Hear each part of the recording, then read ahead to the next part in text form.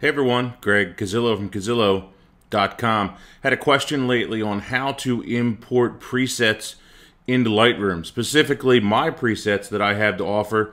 Uh, I will add a download link in the description on YouTube or an additional link here on the website so that you can grab that and um, a couple black and white presets. You can head over to that article and uh, videos to show you how to use them and apply them and uh, basically how I came up with them. So uh, you can go ahead and head over and grab those if you like. But how do we import them? I guess I neglected to put that in the earlier video. It's actually really easy. Uh, first, when you are in the develop module inside of Lightroom, you have this user presets right here.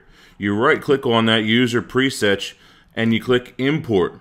Now what I've done is actually going into my documents and I've created a folder inside of documents called LR presets and here are my presets so I can go ahead and I can import that. Now one thing that you do need to do, that's actually a really cool black and white, uh, before uh, you import them is uh, unzip the or decompress the zip file that I have provided because it's actually a download as a zip file for those presets so you will need to decompress that file first and it also works by selecting multiple images at a time which is pretty cool as you saw me do right there I selected two of them at a time so uh, that should be it so let me know if you have any comments or questions or other ways to import those Adobe Lightroom presets. And as far as I know, they should work for Adobe Lightroom 3 as well as version 4.